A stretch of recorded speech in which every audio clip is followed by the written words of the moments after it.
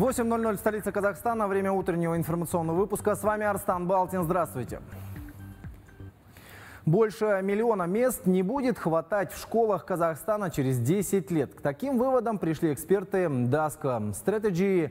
А, они проанализировали текущую ситуацию в стране и оценили темпы строительства средних образовательных учреждений.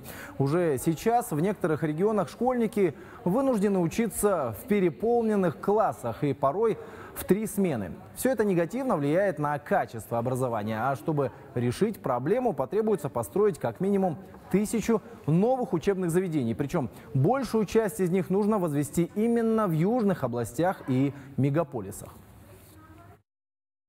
А в прошлом году Министерство просвещения обозначило, что сегодня дефицит а, составляет 270 тысяч ученических мест. И недавно в министерстве сообщили, что оно уже составляет 260 тысяч ученических мест, то есть за год всего лишь а, сократилось на 10 тысяч школьных мест. А по нашим оценкам, если оставить все как есть, ничего не делать, то через 10 лет дефицит увеличится до миллиона. То есть не школьникам не будет хватать миллиона ученических мест в школах.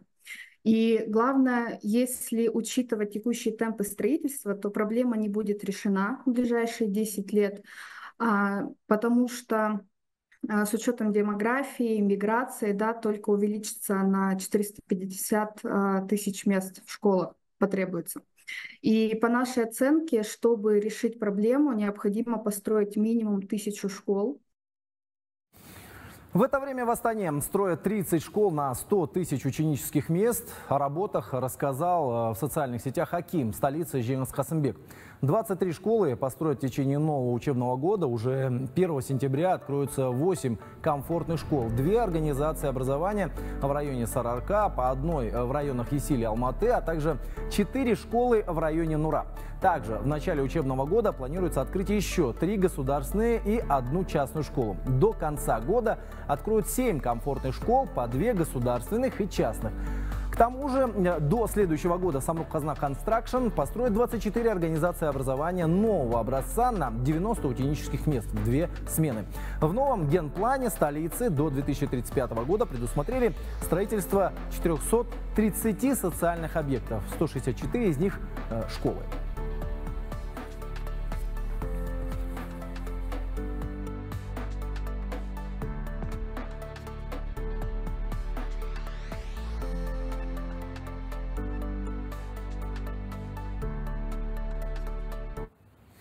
А вот пять новых школ введут в эксплуатацию до нового учебного года в Мангистауской области. Две из них построили в Актау, остальные в селах Мунайлинского района Кызылтөбе и Баскудух.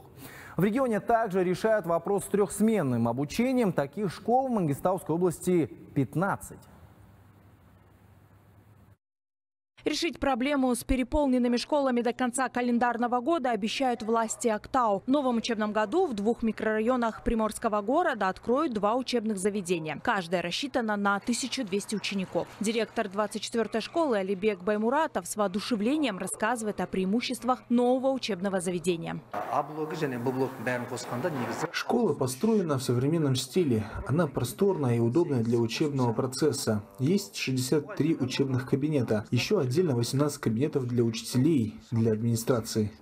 До 1 сентября в регионе по плану должны были открыть 18 школ, но из-за ненадлежащей разработки проектно-сметной документации в эксплуатацию ведут лишь 5. По остальным школам продолжится разработка проектов и прохождение госэкспертизы. Заместитель руководителя областного управления образования Гульбану Кызылгулова заверяет, что оставшиеся объекты образования откроют до конца года. Четыре школы строят за счет финансирования от Фонда развития образования. Их сдадут в сентябре этого года. Затем 13 школ из 21 планируем открыть в декабре. На сегодняшний день выполнено 80% строительных работ. Сейчас в области около 4 тысяч детей учатся в три смены. В следующем году с учетом того, что откроют 24 школы, проблема переполненных школ решится. Лиана Жамлиханова, Ренат Дюсалиев, Актау 24 КЗ. Крупнейший в Казахстане поставщик канцелярских товаров «Абди» ежегодно собирает самую бюджетную корзину школьника, чтобы назвать ее минимальную стоимость. В этот список входят канцелярские принадлежности, без которых невозможно просто обойтись в школе. С подробностями к эфиру присоединяется моя коллега Сабина Балашкина. Итак, Сабина, какие новости у тебя? Растан затрону сегодня еще несколько тем. Например, расскажу, сколько сейчас стоит обучение в частных школах. Música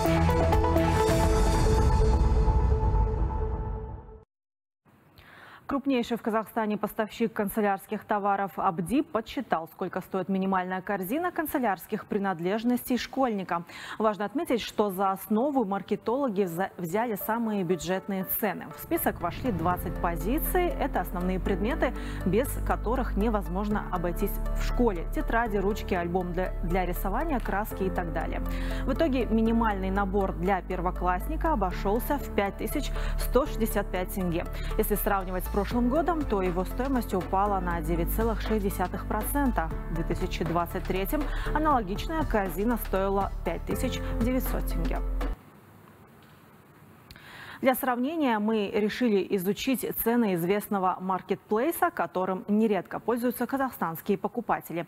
Речь, речь идет о Валбересе. За основу взяли самые дешевые товары. В итоге, чтобы собрать минимальную школьную корзину из 20 канцелярских принадлежностей, нужно не меньше 9 тысяч тенге. Помимо канцтоваров, каждому школьнику нужна форма. Самые бюджетные варианты предлагают китайские производители, но многие родители отказываются от такой формы из-за ненадлежащего качества. Форма – один из немногих видов школьных товаров, которую стараются выпускать в Казахстане. Однако поддержка отечественного производителя обходится недешево. Комплект для мальчика от казахстанского бренда Glassman стоит примерно 55 тысяч тенге. Сюда также входят одна пара обуви и две рубашки. Школьная форма для девочки еще дороже, почти 61 тысяча тенге. Тоже с одной парой обуви и двумя рубашками, но без сарафана. Также во многих школах требуют единую спортивную форму. Для этого понадобятся кроссовки, трико, футболка и мешок для спортивной одежды. Стоит такой комплект не дешевле 15 тысяч тенге. Далее расскажу, сколько стоит обучение в частных школах Казахстана. Сейчас таких насчитывается 700. Больше всего платных учебных заведений действуют в трех мегаполисах Алматы, Астане и Шимкенте. Стоимость обучения в них зависит от разных факторов и может доходить до нескольких миллионов тенге в год. Есть в регионах школы и более с бюджетной оплатой до 40 тысяч тенге в месяц. Итак, самое дорогое обучение в одном из частных учебных заведений в столице и Алматы. Здесь стоимость начинается начинается почти от 7 миллионов тенге за год. Помимо учебной программы сюда входит питание и перекусы в течение дня, дополнительные занятия, канцелярские принадлежности для учеников, услуги Академии английского языка, а также служба безопасности и медицинский центр. Стоимость обучения в Шимкенте для учащихся с нулевого по четвертый класс 238 тысяч тенге в месяц, с 5 по 11 класс 261 тысяча тенге. В Таразе стоимость обучения в частной школе обойдется в 55 тысяч тенге в месяц. В Павлодаре все частные школы начальные. За обучение там платят не меньше 120 тысяч тенге ежемесячно. В Костанае обучение в частной средней школе обойдется в 60 тысяч тенге в месяц. В Актау цены начинаются от 70 тысяч. В семье ежемесячное обучение стартует от 40 тысяч тенге. Есть частные школы, где цена превышает 100 тысяч тенге в месяц. И в завершении информация с казахстанской фондовой биржи. По итогам последних вечерних торгов курс доллара составил 479 тенге 16 тиинов, евро 523 тенге 52 тиинов, рубль 5.31 и китайский юань 66 тенге 74 тиинов. Арстан, до встречи в следующем информационном выпуске. Ну, как говорится, о теме школьных покупок или покупки школьных принадлежностей мы еще э, будем говорить в этом эфире. Спасибо. Сабина Балашкина была со, со своей рубрикой э, «Первая цифра».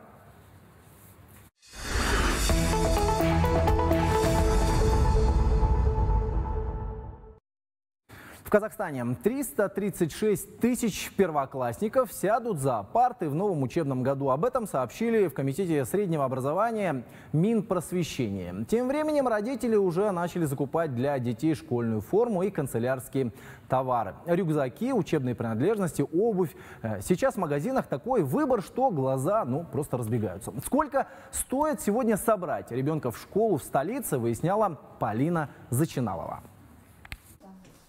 Середина августа. Подготовка к новому учебному году в самом разгаре. В магазинах школьной формы настоящий ажиотаж. У жительницы Астаны Дельнас Каримовой дочь пойдет в четвертый класс. Вместе они обошли несколько бутиков в поисках строгой юбки и блузки. На примерку школьной одежды пришли и племянники Дельнас. На одного ребенка покупки в среднем обходятся в 300 тысяч тенге. Это не включая сюда там зимнюю одежду, да, зимние куртки, зимние сапоги. На канцелярию уходит около 70 тысяч. Это если рюкзак хороший покупаешь, то есть там с ортопедической спинкой. Ну, рюкзаки я всегда заказываю. Мы тоже решили узнать цены на школьную форму. Например, в этом столичном магазине белая рубашка для мальчика стоит 6,5 тысяч тенге. Цена тканевой жилетки – 4900 тенге. Брюки обойдутся в 7200 тенге. Для девочек стоимость позиции примерно такая же. Сегодня вы купили здесь э, в школу рубашки, все вот то, что надо было. На... Ушло 60 тысяч. Ушло 60 тысяч, но еще это половина. Мы вот в это время начинаем готовиться к школе. Сколько примерно обходится собрать ребенка? Ну, около 70 тысяч. Покупателей сейчас достаточно и в магазинах канцелярских товаров. В первую очередь с прилавков разбирают рюкзаки. Цена на них зависит прежде всего от производителя. Например, стоимость самого дорогого портфеля – 32 тысячи тенге. Самый скромный можно приобрести за 6 тысяч. Давайте посмотрим, что входит в корзину самых необходимых товаров. Первым делом нужны 12-листовые тетради. Стоимость одной – 25 тенге. За 10 штук отдадим 250 тенге. Не обойтись школьнику и без ручки. Стоимость шариковой 40 тенге, а цена одного простого карандаша 30 тенге. Родители уже раскупили первую партию гелевых обложек, тетрадей и шариковых ручек. Продавец-консультант Фариза Нуруа рассказала о стоимости принадлежности для учеников младших классов. Так, средняя цена у нас около 700 будет э, у пластилина, а также у э, акварели. А, а по гуаши то где-то 800 будет. Бумага у нас есть, она стоит а, от 45 тенге, и самая, э, самая дорогая, которую я видела, 1300 стоила. Картоны, они начинаются, варьируются примерно со 100 тенге, и самый дорогой, который я видела, это было 1800 тенге. Если посчитать, то на канцтовары в среднем понадобится около 30 тысяч тенге. Расходы на одежду могут составить в пределах 100 тысяч тенге. Это на одного ребенка. Конечно, чек зависит прежде всего от финансовых возможностей родителей. Полина Зачиналова, Галамжан Абдулахат, 24 КИЗ. Около семи с половиной тысяч детей пойдут в этом году в первый класс в Петропавловске. Родители школьников торопятся закупить все необходимое для учебы. Сколько минимум там потратят на школьную форму и канцтовары, а также как помогают в сборах в школу детям из малообеспеченных и многодетных семей, узнал наш корреспондент. Чита Карстен в этом году отправляет в первый класс свою старшую дочь Мирославу. Подбирают образ всей семьей в соответствии с требованиями школы. Чтобы не переплатить, часть необходимых вещей заказывают в интернет-магазинах. В этом отец первоклашки Артем Карстен видит существенную экономию. А все, что необходимо примерять, ищут в местных торговых точках. Тысяч, наверное, 30-40. Но это вот только сарафан и пока комплекты белья, носки, плавочки и так далее. Еще не покупали учебники, еще не покупали тетради, канцелярию. Ну, наверное, первоклассника, я думаю, не меньше 80-100 тысяч полный комплект будет закупаться. И вещи тоже разные. Есть вещи подешевле, я думаю, можно уложиться, наверное, в 1060. А если более качественные брать, то там уже и дороже будет, даже больше 100, я думаю, будет. Производители школьной формы стараются создавать ее в классическом стиле, при этом следуя трендам моды. Это укороченные жилеты, юбки миди и брюки палаца. В минимальный комплект формы для мальчиков, который представила продавец-консультант Евгения Останина, входит жилет, галстук и брюки. Минимальный комплект школьной формы до 36 размера. Это первый класс, первый, второй, третий, может быть и четвертый класс, в зависимости от э, размера и роста ребенка, будет составлять 20 500 тенге. У нас есть списки людей, которые пострадали от паводка. Для них существует скидка 25%. Для многодетных семей, для детей-инвалидов. Для детей-сирот у нас скидка предназначена 20% от стоимости. Э, от стоимости всей покупки. На одном из производств по пошиву школьной формы за смену выпускают до 300 единиц предметов одежды. 50 сотрудников цеха стараются сделать школьную форму не только стильной, но и долговечной. За предшкольный сезон здесь успевают пошить более 5000 комплектов.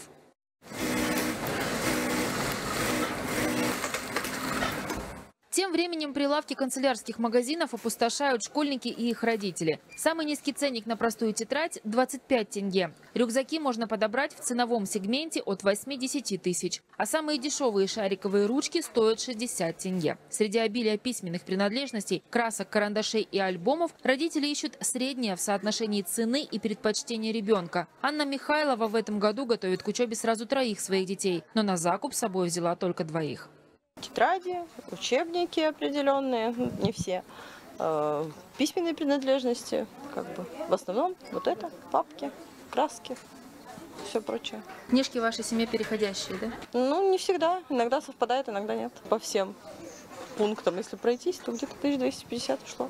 Это и канцелярия? Это канцелярия и сумки, рюкзаки. Тогда еще реально. Готовы к школе? Вообще готов с такими-то тетрадями. Школьникам из социально незащищенных и малообеспеченных семей оказывают материальную поддержку. В рамках акции «Дорога в школу» им на помощь в подготовке к учебному году предусмотрено более 470 миллионов тенге. По словам руководителя управления образования Айнагуль Сурагановой, таких учеников в регионе около 11 тысяч. Родители, претендующим на выплату пособия, необходимо в течение 10 рабочих дней со дня получения средств предоставить документальное подтверждение целевого использования средств. То есть деньги, которые получат на карт, упадут на карт счета родителям, они должны обязательно э, потратиться на нужды ребенка, то есть на э, сбор его в школу, на приобретение канцелярских товаров, спортивные формы, одежды и так далее. Предстоящем учебном году в регионе сядут за парты почти 76 тысяч школьников. Впервые откроют двери школ около 7,5 тысяч детей. Наталья Волкова, Тулиген Иманов, Петропавловск, 24 КЗ. Больше полумиллиона казахстанских школьников получат в этом году материальную помощь из фонда «Всеобуч». Минимальный размер пособия – 43 тысячи тенге. Такие данные ранее озвучили в Минпросвещении. Более подробнее о мерах поддержки для детей из социально уязвимых семей мы поговорим с главным экспертом Комитета по охране прав детей э, Батимой Айтбаевой. Доброе утро. Доброе утро. Вот скажите, э, сколько сегодня детей из малообеспеченных семей в республике? Сегодня по республике более 500 тысяч детей из малообеспеченных семей. И ежегодно местными исполнительными органами накануне нового учебного года э, оказывают материальную помощь на приобретение школьной формы, одежды, обуви и канцелярских товаров. Самое большое количество детей, э, это, конечно же, зависит от густонаселенности э, наших регионов. Да? Самое большое количество детей у нас в Туркестанской области, в городе Шимкент, в Алматинской области. Вот скажите, какие меры поддержки со стороны министерства на сегодня есть для детей вот данной категории? Угу. Материальная и финансовая помощь оказывается местными исполнительными органами э, согласно постановлению правительства номер 64. Э, помощь оказывается, первое, здесь приоритетную роль, конечно, отдается организации бесплатного горячего питания для детей и социально уязвимых слоев населения. Дальше это организация отдыха и оздоровления детей. Досуг. Да, оздоровление, организация досуга детей в летнее время. Э, третий вид материальной помощи – это оказание финансовой помощи. Это касается детей, которые попали в чрезвычайные ситуации, чьи семьи попали в чрезвычайные ситуации. Дальше перед вот, началом учебного года оказание материальной помощи на приобретение школьной формы, одежды, обуви и канцелярских товаров. Вместе с тем есть еще организация дополнительных занятий для детей из социально уязвимых слоев населения. Батима Кулашина, вот uh какая конкретно помощь в сборах в школу будет оказана детям из малообеспеченных семей? Uh С 2022 года в постановление правительства номер 64 внесены изменения именно в части монетизации оказания материальной помощи на приобретение школьной формы, обуви и канцелярских товаров. То есть с 2022 года э, определен минимальная величина э, материальной помощи. Это не ниже величины прожиточного минимума. В этом году она составляет 43 407 тенге. На карт счета родителей – детей, нуждающихся в помощи, да, перечисляются местными исполнительными органами э, средства в размере не ниже прожиточного минимума, то есть 43 407 тенге. Вот как сказали в сюжете, угу. в течение 10 дней да, они должны освоить вот эти 43 тысячи тенге. Да. Угу. И, соответственно, предоставить э, доказательства, счета, да? Или... Да, да, да с этого года, с 2024 года, услуга оказания материальной помощи на приобретение школьной формы, обуви, оно переведен э, в формат государственной услуги. Согласно, когда родители обращаются в администрацию школы, пишут обращение, заявление, э, они дают гарантию на то, что э, в течение 10 рабочих дней после получения средств они принесут документы, подтверждающие целевое использование данных средств. Для чего это все делается? Это делается для того, чтобы дети 1 сентября все были охвачены образованием. А вот еще, э, вот э, вы сказали, ну, уже известна сумма 43 да. тысячи тенге, это на одного ребенка, да, правильно? Да, да, на одного а, ребенка. Сколько средств вообще выделено из бюджета на эти цели?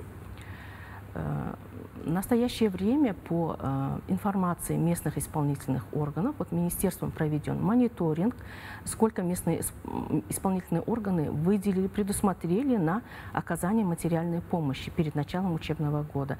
И согласно информации местных исполнительных органов, на сегодняшний день более 22,5 миллиардов тенге. Еще раз давайте напомним э, родителям, что входит э, вот в пакет вот этой помощи. Угу. То есть, э, вот смотрите, как э, я уже говорила, с 2022 года мы внесли изменения. То есть каждый родитель определяет необходимость вида одежды перед началом учебного года, что ему нужно ребенку перед подготовкой, школьная форма или спортивная форма, да, обувь, канцелярские товары. И э, самостоятельно выбирает магазин, торговую точку, где ему будет удобно э, купить данный вид одежды. А вот еще хотел уточнить такой угу. вопрос. Это же э, единовременная разовая помощь Это или раз... же в течение года есть возможность дополнять какая-то угу. помощь? Существуют какие-то дополнительные поддержки угу. в течение года? Это разовая помощь, так как я говорила, это разовая помощь оказывается перед началом учебного года для того, чтобы предупредить неявку детей э, в школу по социальным причинам. То есть в школу, чтобы дети пришли полностью укомплектованные в школьной форме, с рюкзаком и с необходимыми канцелярскими С ручками, товарами. тетрадями, Конечно, канцелярскими принадлежностями, да. одним словом. Но вместе с тем нужно сказать, что вместе э, э, Фонд всеобуча, вот я уже говорила, это средства, выделяемые местными исполнительными органами. Акиматами? Акиматами, да. Но вместе с тем э, с 1 августа запущена традиционная республиканская благотворительная акция «Дорога в школу». И наши спонсоры, э, люди, которые желают помочь да, вот нуждающимся семьям, они э, добровольно берут список в акиматах да, нуждающихся семей и оказывают им э, виды спонсорской помощи. А есть информация по частным инвесторам, спонсорам, какая помощь там с, с их стороны происходит, какая сумма на сегодняшний день э, На сегодняшний день мы запустили данную акцию, да, э, ведется мониторинг. То есть сейчас да. за этим наблюдает министерство, да, да, да. скажем так, считает? Да, да, да. Мы ну что ж, спасибо. С нами была Батима Айтбаева, главный эксперт Комитета по охране прав детей Министерства просвещения Республики Казахстан. Желаю вам успехов в работе и хорошего дня. Спасибо большое. Ну а между тем, больше 21 тысячи абитуриентов подали заявление на участие в августовском ЕНТ. Повторное тестирование проходит для тех, кто не смог набрать установленный пороговый балл или выбрал несоответствующую комбинацию профильных предметов. Около 66% изъявили желание пройти тестирование на государственном языке, 34% на русском и остальные на английском. Всего же в первый день экзамен сдали 5,7 тысяч человек. И тестирование продлится до 15 августа. Сегодня в столице пройдет заседание правительства. На повестке дня стоит вопрос о поддержке отечественных товаропроизводителей. Ранее в Казахстане пересмотрели инструменты поддержки с учетом интересов производителей сельхозтехники. Например, Исключено субсидирование зарубежной техники. Не затрагивает те позиции, производства которых не налажено в нашей стране. Прямую трансляцию заседания можно посмотреть на официальном сайте правительства или на страницах в социальных сетях. Ну а мы продолжаем. Уровень безработицы среди молодежи в мире снижается. Согласно новому докладу Международной организации труда, Показатель безработных в возрасте от 15 до 24 лет в среднем сократился до 13% за последние 4 года. А, вот в теме этой разбиралась моя коллега Сандугаш Байгуаныш. И так, э, Сандугаш, в каких странах число работающей молодежи увеличилось ну, больше всего? Да, Арстан, в основном э, это страны Европы. Но вот в каких государствах трудовая статистика ухудшилась, расскажу прямо сейчас.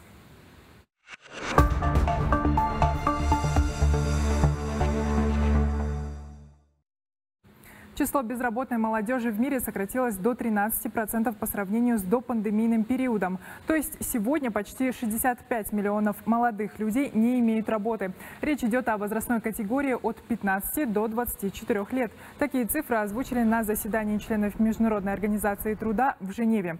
Больше всего трудовая статистика улучшается в европейском регионе, где за последний год число экономически неактивной молодежи сократилось на 2,5 миллиона. И сейчас таких в Европе 13 миллионов. Самая низкая безработица в Чехии, Польше и на Мальте. А вот самая высокая в Испании и Греции. Дефицит кадров восполняется в европейских странах с конца 2020 года, когда стали постепенно ослабевать антиковидные ограничения. Этому способствовало восстановление экономики после пандемии и рост спроса на рабочую силу, утверждает заместитель гендиректора Международной организации труда.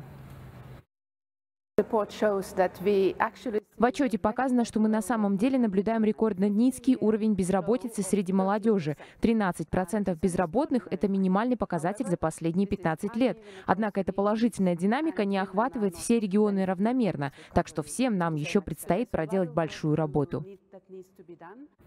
А вот тем временем регресс в сфере трудовой занятости среди молодежи наблюдается в арабских государствах Юго-Восточной Азии и в Тихоокеанском регионе. Там показатели оказались выше до пандемийного периода. Согласно докладу МОД, самый высокий уровень безработных оказался в арабских странах и Северной Африке, где каждый третий молодой человек не работает. Причем в африканских государствах больше половины молодежи трудится в сельском хозяйстве.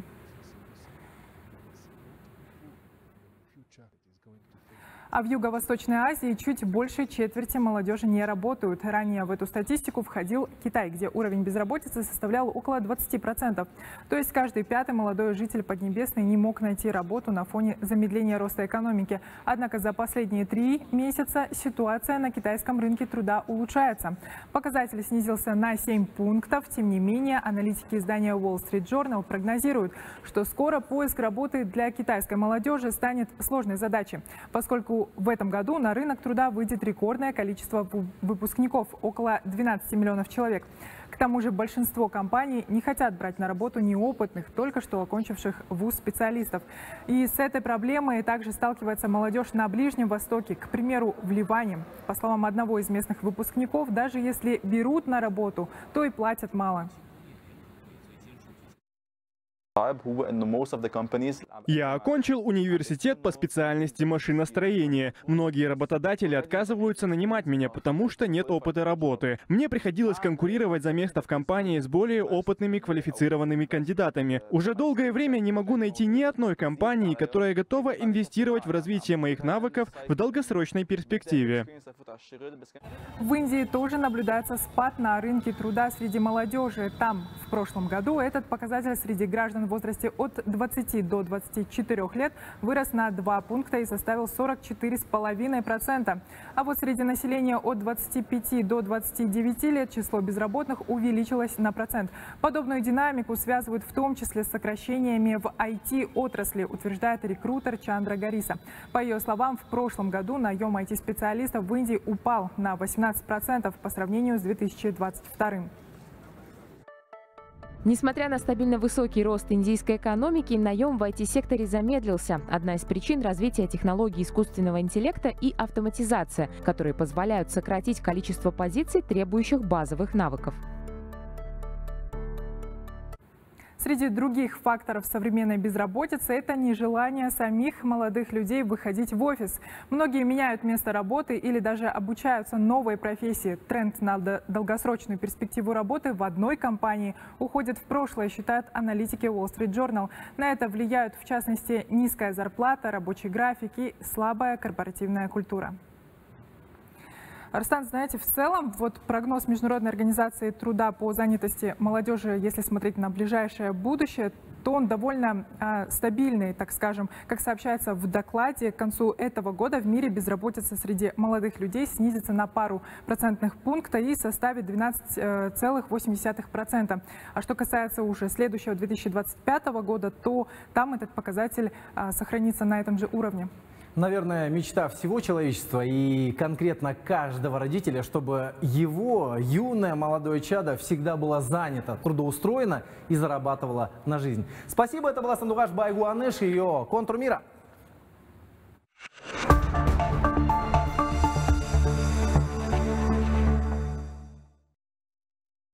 Ну а сейчас в Москву. Там водители такси начнут проходить аттестацию по-новому. Проверка коснется знаний достопримечательностей и техники безопасности при чрезвычайных ситуациях, а также правил перевозки пассажиров. Добровольная аттестация началась накануне 12 августа в качестве эксперимента. Обязательной же она станет с марта следующего года в такси я могу ездить туда, куда я раньше не могла ездить без машины. То есть плюс это свобода. А еще бизнес, которым она занимается больше шести лет. Для Ирины Гавриловой такси не сиюминутный заработок, поэтому она готова пройти проверку на профпригодность. Если, опять же, ты знаешь хорошо Москву, это достаточно несложно. Все это в доступности у нас. Тот же Большой театр, та же Третьяковская галерея, та же Красная площадь. Цель аттестации – повысить безопасность и улучшить качество обслуживания. Знания таксистов будут оценивать по нескольким категориям, в их числе ориентирование в городе. Актуально, когда навигаторы сбиваются с пути. Сейчас мы отвлекаемся больше на дорогу, на того, что навигация теряется. Нам нужно видеть, чтобы не проехать повороты. Немножечко будет неудобно знать и рассказывать всю эту вот красоту нашей Москвы. Только по приблизительным подсчетам в Москве и области сейчас водят такси около 150 тысяч человек. Эксперты уверены, новый экзамен поможет очистить отрасль от непрофессионалов. Аттестация будет проходить онлайн на сайте системы мониторинга такси. Проверка в форме тестирования. Раздела 3. Правила перевозки пассажиров и багажа, расположение культурных, спортивных и социальных объектов, а также действия водителя при чрезвычайных происшествиях. Для успешного прохождения теста достаточно правильно ответить на 8 из 10 вопросов. На тестирование отводится порядка 20 минут. Введение аттестации ничего не поменяет для ответственных водителей и таксопарков, а для пассажиров поездки станут еще удобнее и комфортнее. Из 100% водителей, дай бог, 10% пройдет эту аттестацию. Половина не знает правил дорожного движения еще, вот. Они тоже не пройдут эту аттестацию. Вот. Ну и пройдут единицы, те, которые могут ездить без навигатора, и которые знают а, Москву. Подтверждать квалификацию таксисты могут уже с 12 августа, пока добровольно. А с марта 2025 года аттестация станет обязательной. Срок действия сертификата – 2 года. Провалившему аттестацию водителю придется покинуть профессию. Тамерлан Ким, 24 КИЗ. Болгарская, болгарские таможенники изъяли рекордную партию героина стоимостью 38 миллионов долларов в морском порту города Бургаса. В прокуратуре сообщили, что 436 килограммов наркотиков обнаружили в прицепе, который перевозил машины для прокладки кабелей. Он прибыл в Бургас э, в конце июня. Запрещенные вещества спрятали внутри официально задекларированного груза. Расследование продолжится в рамках международного полицейского сотрудничества. Отмечу, в Болгарии за контрабанду наркотиков предусмотрено наказание в виде лишения свободы на срок до 20 лет. Ну а между тем больше ста мигрантов спасли недалеко от южного побережья итальянского острова Лампедуза. Деревянная лодка дрейфовала посреди моря в момент, когда ее обнаружил вертолет агентства Евросоюза по безопасности внешних границ. Большинство нелегалов, выходцы из Палестины, Сирии и Египта. На борту судна также находились шесть женщин, четыре ребенка и двое пожилых мужчин. Отмечу, итальянский остров переживает миграционный кризис. Число нелегальных переселенцев там почти в два раза превышает местное население, которое составляет 6 тысяч человек. Илон Маск сообщил о массированной кибератаке на социальную сеть X э, перед интервью с Дональдом Трампом. Сегодня в 6 утра по времени Астаны состоялась беседа кандидатов в президенты США. Однако многие пользователи не смогли подключиться к трансляции из-за технических неполадок. По словам Илона Маска, специалисты сразу же приступили к устранению последствий кибератаки. Всего на момент начала прямой трансляции к эфиру подключилось больше миллиона человек. В беседе «Столетие», так предвыборный штаб Трампа назвал интервью, политик высказал мнение о недавнем покушении на него. Он считает, что это стало возможным из-за недостаточной координации между правоохранительными органами. Кроме того, кандидат в президенты поделился своим видением мировой политической повестки. Он считает главной угрозой для человечества не климатические изменения, а ядерный конфликт. Землетрясение магнитудой 4,4 произошло недалеко от Лос-Анджелеса. Очаг залегал на глубине 12 километров. Подземные толчки ощущались по всей Южной Калифорнии. Городская пожарная служба уже приступила к оценке ущерба после землетрясения. Сообщения о масштабных повреждениях и пострадавших пока не поступали. Лос-Анджелес считается городом с высокой сейсмической активностью, так как он расположен вблизи больших тектонических разломов. Там в ближайшие 30 лет вероятность сильных землетрясений магнитудой 7 и выше составляет сейчас от 40 до 50 процентов, пишет издание Voice of America со ссылкой на американских сейсмологов. Ну а сейчас в Грецию половина страны оказалась в красной зоне опасности из-за лесных пожаров. Высота пламени местами превышает 25 метров, сообщает Deutsche Welle. Сильный ветер и 40-градусная жара осложняют борьбу со стихией в северо-восточных пригородах Афин. Там в тушении огня задействованы больше полутора тысяч э, э, пожарных и десятки единиц воздушной техники. Жители нескольких деревень уже эвакуированы. По словам представителей службы гражданской обороны Греции, в ближайшие дни ситуация в стране будет оставаться крайне опасной. В большинстве регионов уже несколько месяцев не было обильных дождей. А вот Румыния столкнулась с одной из самых сильных волн жары за всю историю наблюдений за погодой в стране. В июле температура воздуха там составляла местами 40 градусов. В некоторых регионах осадков не было уже три месяца. Засуха нанесла серьезный ущерб сельскому хозяйству, особенно фермам, э, выращивающим кукурузы и подсолнечник. В некоторых районах 90% урожая уничтожено. Минсельхоз Румынии объявил о компенсации в размере от 200 до 250 евро за гектар поврежденных посевов. Общая сумма выплат может составить до 600 миллионов евро. Правительство также планирует запросить финансовую поддержку у Еврокомиссии. Кроме этого, для аграриев предусмотрят э, отсрочки выплат по кредитам. Ну а сейчас э, немного о погоде в нашей стране. Проливные дожди ожидаются на большей части Казахстана. По данным Казгидромета, ливни пройдут на севере, западе и в центре страны. По республике усиление ветра. Жару обещают синоптики в южных регионах. Столбики термометров поднимутся до плюс 38 градусов. В Астане дождь с грозой, температура воздуха днем до 30 градусов тепла. Солнечную погоду прогнозируют в Алматы. Там воздух, воздух прогреется до 35 градусов. Ну а сейчас перейдем к спорту. Наставник сборной Казахстана по футзалу Рикардо Кака рассказал о готовности команды к предстоящему чемпионату мира в Узбекистане. По его словам, сейчас все идет по плану. Цитата «Очень хорошее состояние у ребят». И к нашему эфиру присоединяется мой коллега Алишер Накипов и его рубрика «Спорт Лайф». Итак, Алишер, с кем отечественные коллеги, вернее, отечественный коллектив собирается э, провести э, ну, первенство? Приветствую, Растан. Национальная сборная Казахстана попала в группу D вместе с Испанией, Новой Зеландией и Ливией. Впервые в истории чемпионат мира FIFA по футзалу пройдет в Узбекистане. С 14 сентября по 6 октября болельщики получат уникальную возможность наблюдать за захватывающими матчами в трех принимающих городах – Ташкенте, Бухаре и Андижане.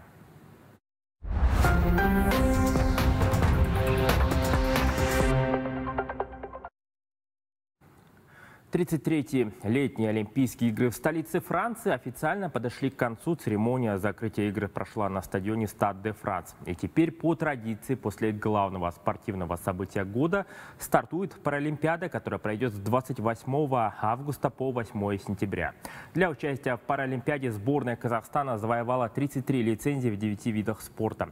Так в Париже мы будем представлены в паралегкой атлетике, пауэрлифтинге, тайквондо, настольном теннисе, плавании, дзюдо, дзюдо, каноэ, волейболе сидя и парапулевой стрельбе.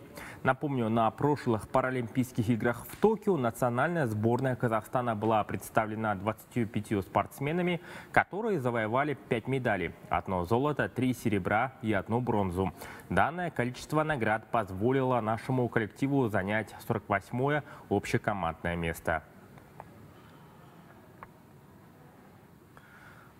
Стали известны имена спортсменов, которые будут представлять Казахстан по жамбату на всемирных играх кочевников.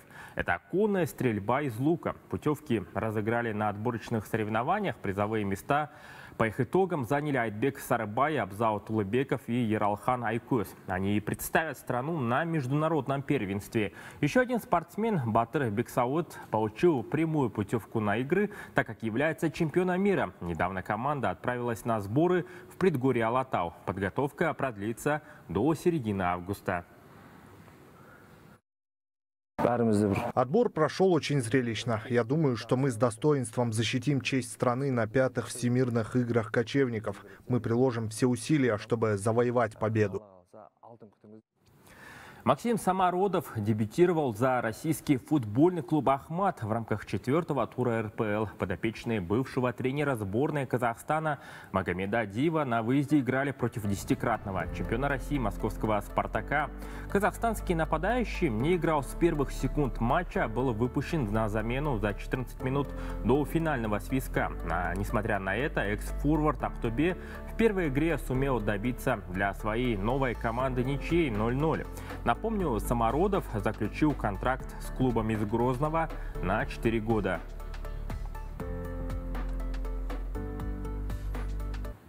Ну что ж, Арстан, э, пожелаем удачи нашим спортсменам на предстоящей Паралимпиаде. Ну а следом за этим событием нас э, ждут Всемирные игры кочевников. Там нам также важно очень хорошо выступить. Будут новости еще горячие прежде. Спасибо. Это был Алишер Накипов и его Спортлайф.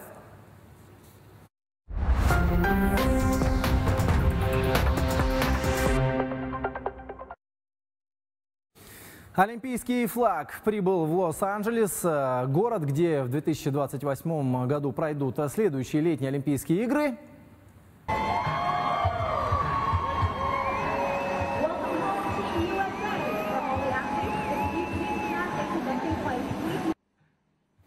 Знамя перевезли на борту самолета Delta Airlines. В момент посадки на взлетно-посадочной полосе из громкоговорителей звучала песня «Калифорния Лав». Привезла олимпийский символ из Парижа мэр Лос-Анджелеса Карен Басс. Напомню, Международный олимпийский комитет предоставил американскому городу право провести игры еще 7 лет назад. Ну а в аэропорту южнокорейского Инчона началась, э, начались необычные проверки. Собака помогает выявлять, нет ли в багаже туристов клопов. Особое внимание к путешественникам, которые возвращаются домой после Олимпийских игр, особенно на фоне массовых проблем с насекомыми в Париже в прошлом году. Тогда клоповая волна охватила и Южную Корею из-за туристов, которые случайно э, привезли их из Франции на одежде или в сумках. Выявляет вредителей собака породы бигль. Э, к слову, она единственная в стране, которая этому обучена. 입국자분들이 캐리어를 열고 Благодаря нюху собаки точность обнаружения насекомых составляет более 95%. Некоторые путешественники недовольны, когда кто-то открывает их чемоданы, но наша ищейка учует клопов, даже если молния открыта всего на треть. К этой минуте все. С вами был Арстам Балтин. До встречи на 24 КЗ. Увидимся обязательно в 10.00. Не переключайтесь.